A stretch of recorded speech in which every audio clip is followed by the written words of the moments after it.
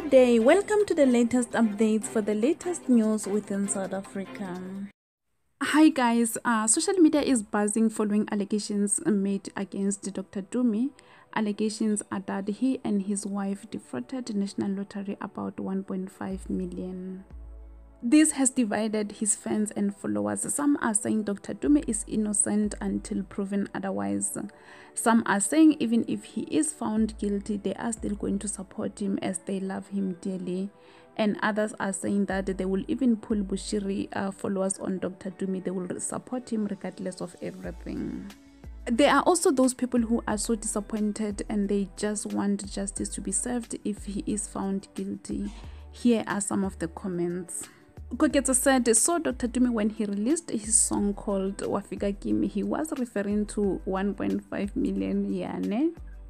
And this user said, uh, who is trying to tarnish Dr. Tumi's image so bad? This is pure nonsense. Dr. Tumi is a man of integrity and has proven himself time and time and again this user uh, Shesi said Dr. Tumi is really bringing the integrity of gospel musicians down on its knees. This man was meant for deserving people who are struggling, but Tumi decided to make his uh, pockets bigger.